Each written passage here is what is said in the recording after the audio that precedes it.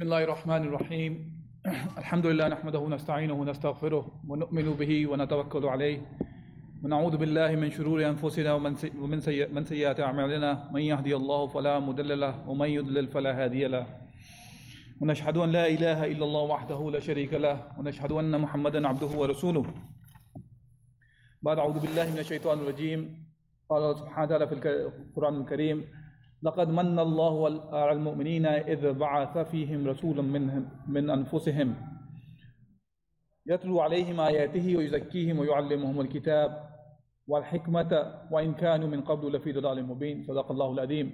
Uh, I would like to talk a little bit about the authority of the Sunnah first because we will be discussing uh, the subject of, uh, uh, of the hadith uh, or, the, or, the, or the rulings that we are extracting from the hadith of Rasulullah. It is important to understand that what is the role of the sunnah or the role of the hadith in Islam itself. Uh, especially the time and days that we are living in, there is, uh, there is something that has been there is some uh, a new phenomena has been started among the ummah, which is rejecting the sunnah of Rasulullah. And this phenomena was never a case of study among the ai in the past for centuries. Uh, you, will, you don't find that the scholars were having any kind of a disagreement regarding the authority of the sunnah itself. You may find there are differences of opinions regarding understanding a hadith or taking the hadith, but never it was a case that it came up as a subject that the sunnah has no authority in Islam. And this is something that happened in the past centuries or two. And uh, when, when the Muslim lands were occupied by, uh, by the Western powers, uh, when they were colonialized, one of the things that they start hitting uh, among the Muslims was this idea of rejecting the Sunnah itself as a whole. And, uh, and, and the groups like uh, Quranists came uh, with the, in different parts of the Muslim land. Uh, to be very clear, yes, you can find individuals here and there in the beginning centuries even who were trying to reject the Sunnah, but they took themselves out of the fold of Islam. And that became very evident, it was very clear among the, among the scholars that uh, Sunnah has great importance to a point. It is the matter of Iman and Kufr actually. So it's not just a subject of whether I can, uh, I, I, I, I have an option of following, or taking the Sunnah as the authority or not, as a hujjiyah. So the ayah that I recited where Allah subhanahu wa ta'ala says, لَقَدْ مَنَّ اللَّهُ عَلَى الْمُؤْمِنِينَ إِذْ بَعَثَ فِيهِمْ رَسُولًا مِّنْ أَنفُسِهِمْ That This is, the, this is the favor of Allah subhanahu wa ta'ala over the believers, that He has appointed a prophet from you. يتلو عليهم آياته ويزكيهم ويعلمهم الكتاب والحكمة that he is the one who uh, uh, he, who recites his ayat the ayat of Allah subhanahu wa ta'ala the verses of Allah subhanahu wa ta'ala and yuzakkihim and he purifies them and it teaches them the book of Allah subhanahu wa ta'ala and the hikmah and uh, the mufassirin they you, majority of the mufassirin defines the word hikmah here as the sunnah of Rasulullah sallallahu because teaching the, the book is the book of Allah subhanahu wa ta'ala. There is no disagreement about this subject. And then when we talk about the hikmah, that majority of the mufassirin describe, describe this as the sunnah of Rasulullah sallallahu alaihi wasallam. And when we say sunnah, uh, of course the sunnah uh, we have to be very careful about. Sunnah is of three categories when we talk about. Sunnah is the actions of Rasulullah sallallahu alaihi wasallam, which is the fi'l, and the qawl, saying of Rasulullah and the third thing is the taqreer, which is when, an action was done in front of Rasulullah sallallahu he stayed silent, and when he kept the silence, there was an approval from the from Rasulullah sallallahu alaihi wasallam that if because if if the action was against the shara of Allah subhanahu wa taala, he would have, he must have stopped the action or must have said something to, to, to, to show that this action was incorrect. But when he did not say that, this is an approval from Rasulullah sallallahu alaihi wasallam, which means this is part of the wahi, this is part that is uh, from Islam. Now, the ayah continues on, وَإِن كَانُوا مِن قَبْلُ لَفِي دَلَالٍ مُبِينٍ Meaning, before that, the people were on clear uh, uh, uh, dalal mubin means a clear dalal, deviation. They were not on the right path.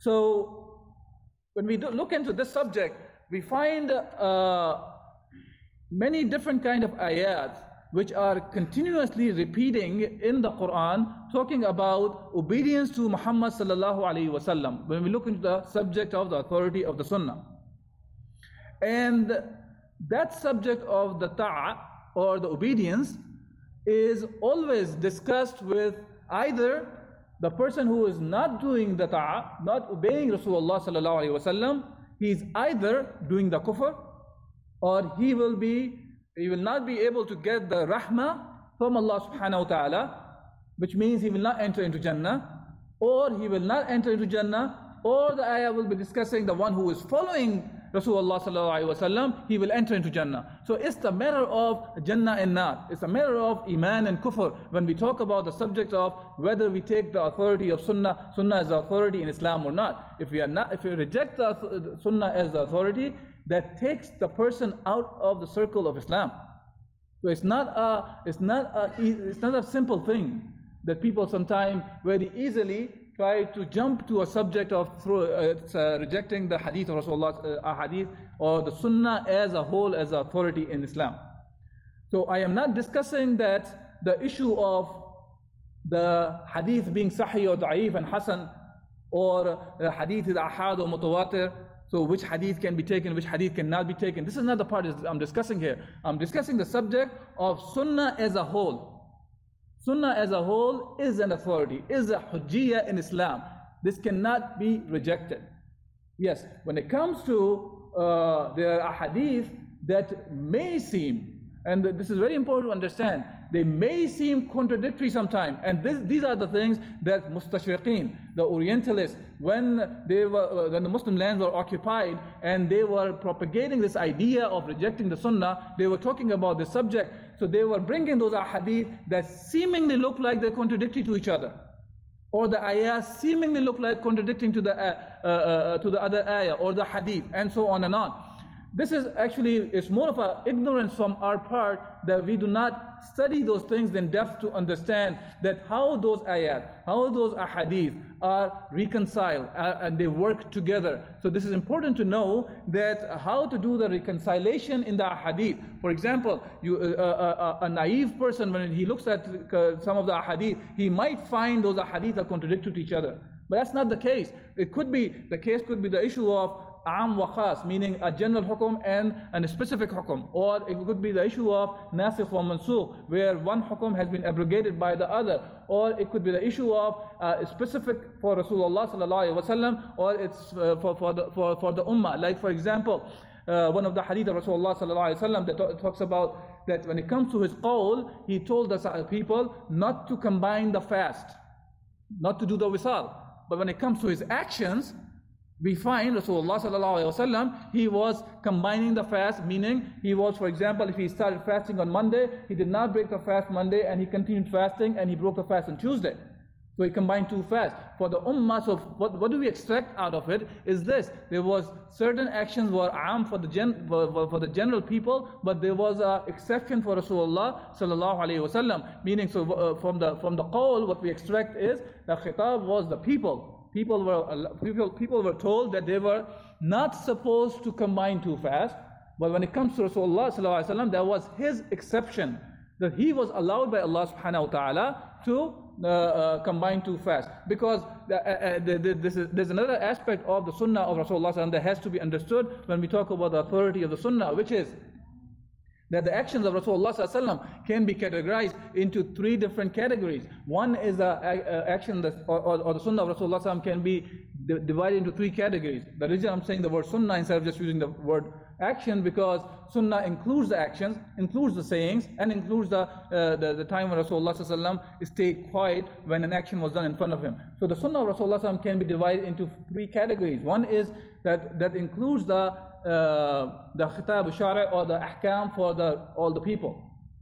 Second aspect of the sunnah of Rasulullah is those actions that were specific for only Rasulullah and they were not allowed for the others. Like one of the examples I just mentioned about fasting. And the third category is the action of Rasulullah that he did as a bashar, which was part of a fitrah, the part of the nature of Rasulullah sallallahu alaihi wasallam. Like for example, when we read the hadith of Rasulullah sallallahu alaihi wasallam, where he mentioned the, the hadith mentions, for example, Rasulullah sallallahu was eating food, and uh, when the squash was presented in front of him, and he was picking the squash from the uh, from the curry from the shorba, because he liked, he loved uh, uh, uh, uh the squash.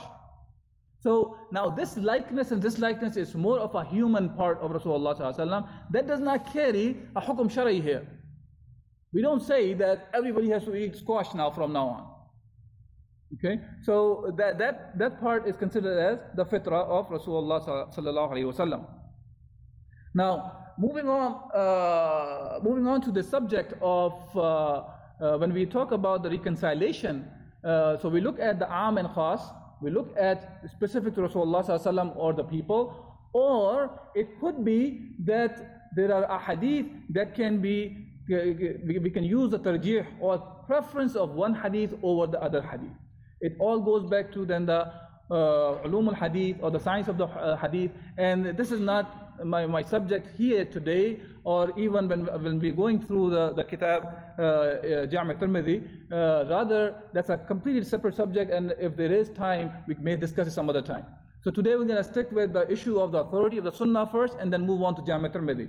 So other part is, Rasulullah uh, was referred as the dua of Ibrahim alayhi salatu wasalam, as one of the hadith says. Uh, Ibrahim alayhi uh, made the dua as Allah subhanahu wa ta'ala mentioned in the Quran.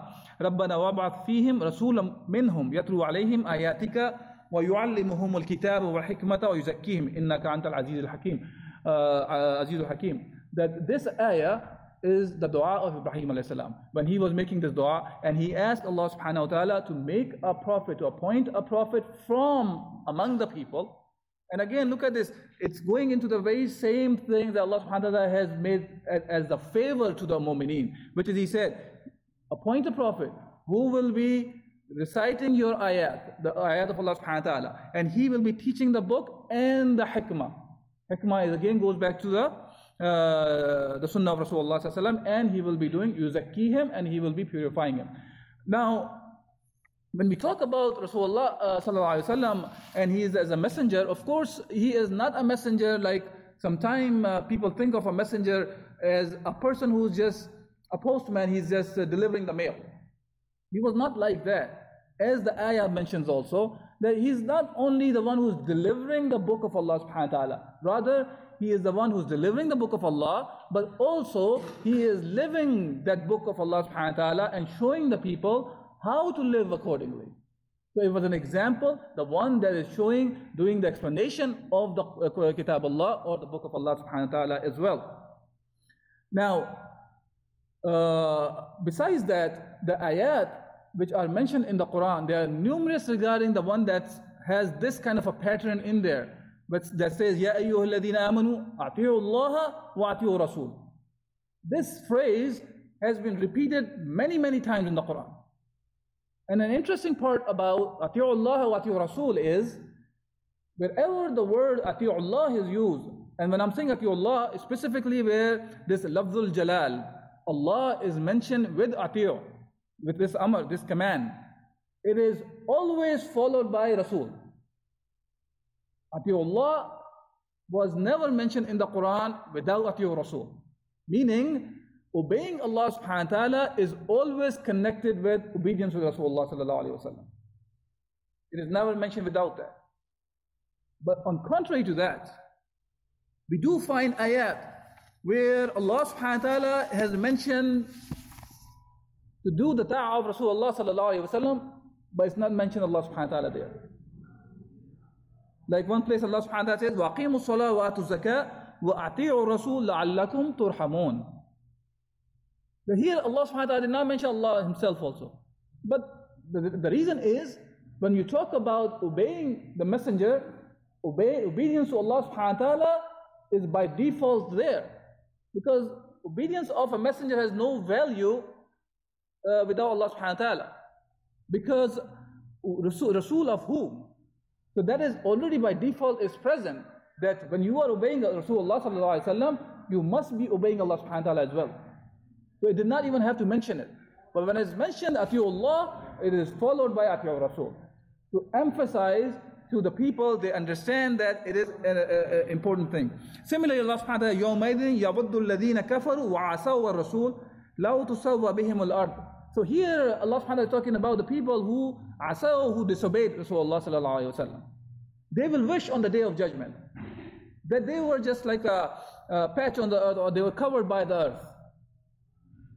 So how they will be uh, feeling uh, hopeless on the day of judgment because they rejected the sunnah of Rasulullah sallallahu alaihi wasallam or they disobeyed Rasulullah sallallahu alaihi wasallam. So there are two words which are used in the Quran. One is the ta'a, which is atiullah, ati Rasul, or ittaba, or taba, where so the, the difference is when it talks about atiullah, it's talking about the obedience to Allah and His Messenger. When he's talking about ittiba, he's talking about following Rasulullah meaning the ways Rasulullah has done the things. So it's not only that we are supposed to just obey him, but we have to follow his ways as well. And uh, ayat, uh, uh, as I said, this is not today, is not the subject of just going into the authority of Sunnah. I just want to give at least some brief summary that when we talk about obey, obeying Rasul, the, the Rasulullah it is not an option to us, it's a must. And the people who are rejecting the sunnah of Rasulullah sallallahu and thinking that they can just follow Quran and that's sufficient, they are actually, they are disobeying Allah subhanahu wa ta'ala. They are actually rejecting the ayat of Quran itself.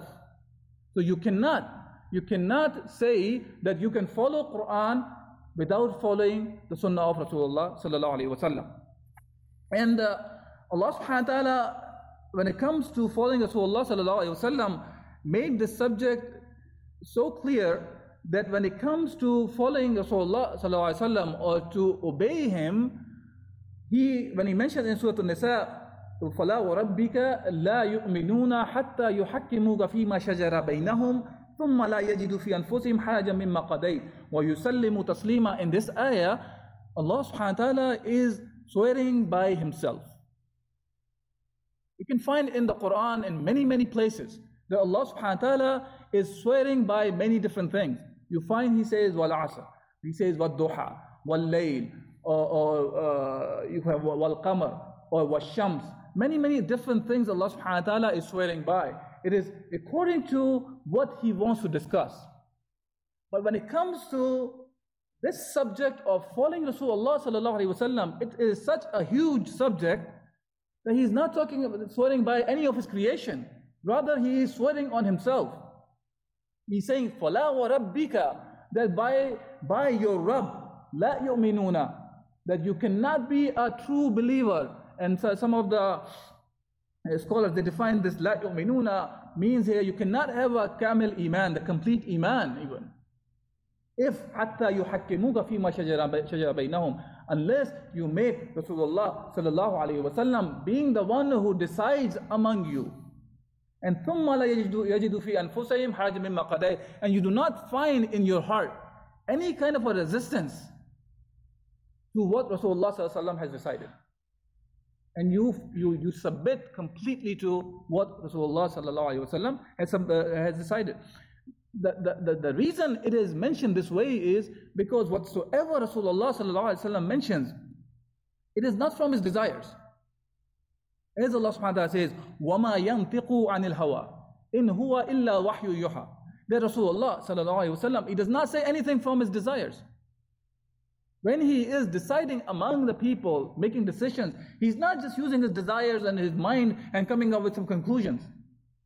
He is making decisions by using the, the wahi. He was saying whatsoever Allah subhanahu wa ta'ala has revealed on him. So it is connected with the wahi, whatever Rasulullah sallallahu alayhi wa has mentioned. May Allah subhanahu wa ta'ala protect us all from any of those mistakes. وآخر دعوانا الحمد لله رب العالمين سبحانك اللهم وبحمدك لا إله إلا أنت